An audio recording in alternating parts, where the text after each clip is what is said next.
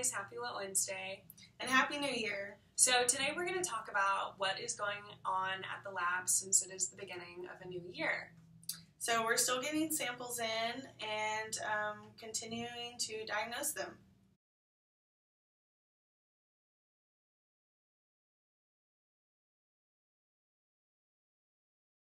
But since the holiday season was just upon us, we don't have near as many samples as we do in the spring and in the summer.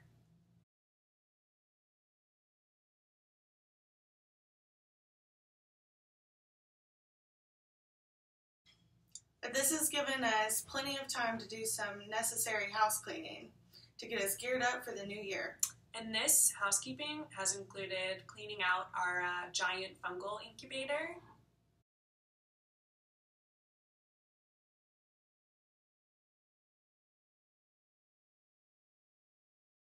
Also, a majority of us are planning and are participating in our um, upcoming 94th annual Southern Division APS meeting that's going to be in College Station this year.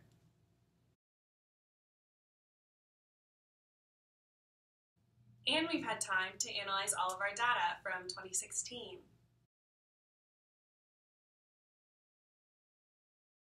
We've also been planning a ton of really fun What Wednesday videos for this year. Tracy, I've been expecting you. I have some great ideas this year for our What Wednesday videos. Sounds good, Dr. Ong. So we hope that you are as excited about this year as we are. And have a great rest of your week. And we'll see you next Wednesday.